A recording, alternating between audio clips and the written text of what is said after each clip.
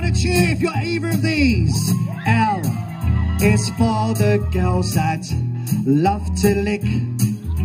G is for the boys that prefer dick. B is for those undecided or they're gay and they try to hide it sexually they all profit by standing halfway out the closet T is for those transitioning you see their lives need reconsidering confused let me try to explain to you with the help of some pictures. The fact is, whether you're this or this is nobody's fucking business. It's this and this that makes someone attractive. We got love going through as we speak. Look at that. Okay. Confused. I hope you're all still listening. Cause now it's Q, which stands for queer or.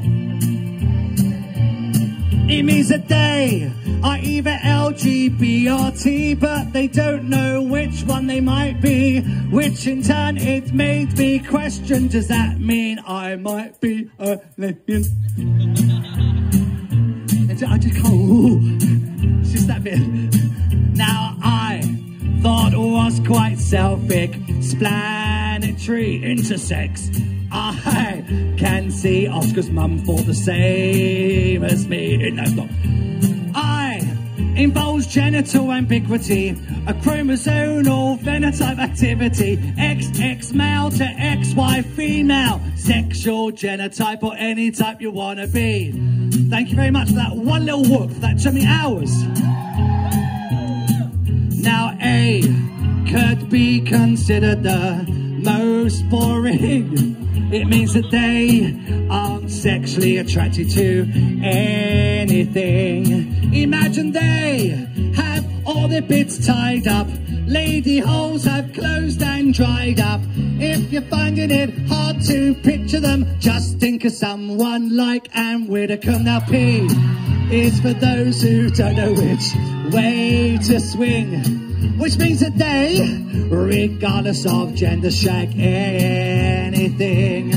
The other P is polyamorous. They think that relationships are glamorous. Personally, I think that should be FG, which clearly stands for. Sorry, I had to swear because it's written down. I'm sorry. It's the last time. Right, do we have any kinks out there today? Let's subscribe. You're cheering for everything. You're a bisexual, kinky trans. I love it. Let's do this. now if I have offended anybody with this song, then you have misunderstood my point all along. You see, I don't think you need a labeling a letter or a number to state the case you're in. Be who you wanna be and fill the world with love.